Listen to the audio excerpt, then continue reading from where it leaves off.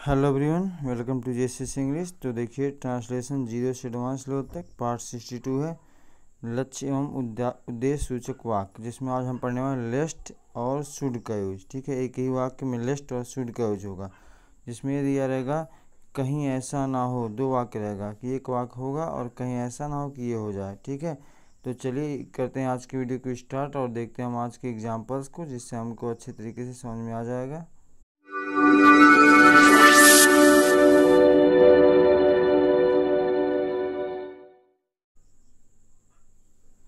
देखिए कह रहा कि मेहनत करो, कहीं ऐसा ना हो जाए कि तुम असफल हो जाओ। कहीं ऐसा ना हो जाए। यही आपका आएगा तो हम करेंगे लेस्ट का यूज़ और दूसरे वाले क्लास में करेंगे सुड का यूज़ ठीक है? और हमें सुड के साथ में नाट का यूज़ नहीं करना है। चलिए देखिए, कह रहा work hard lest you should fail तो लेस्ट लगाना है वर्क हार्ड मेहनत करो वर्क हार्ड लेस्ट और इसमें तुम फेल हो जाओ।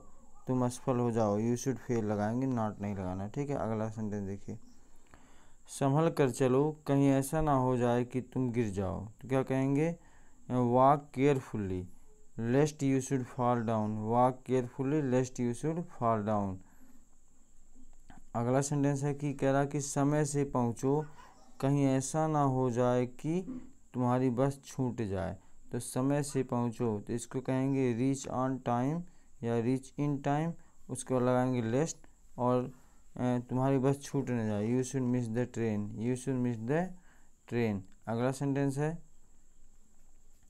धीरे चलो, कहीं ऐसा ना हो कि तुम गिर जाओ। तो कहेंगे walk slowly lest you should fall down अगला सेंटेंस है, उसकी तरफ़ ऐसे मत देखो।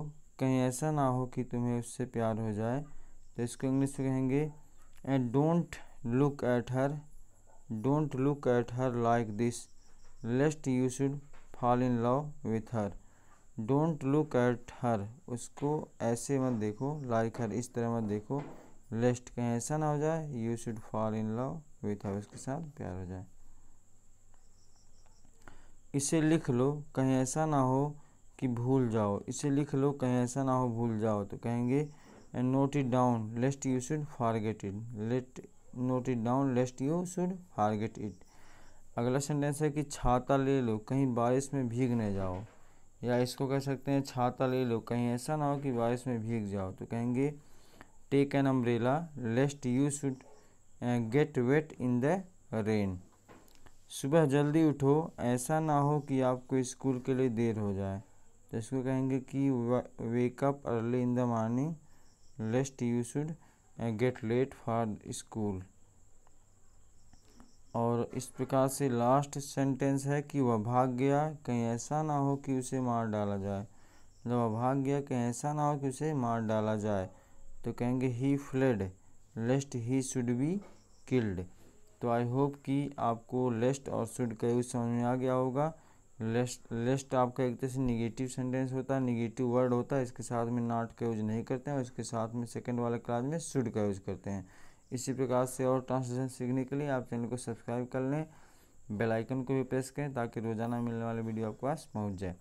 मिलते हैं हम अगले पार्ट में, अगले सेंटेंस के साथ में, अगले यूज़ के साथ में, तब तक के लिए thanks thanks for watching goodbye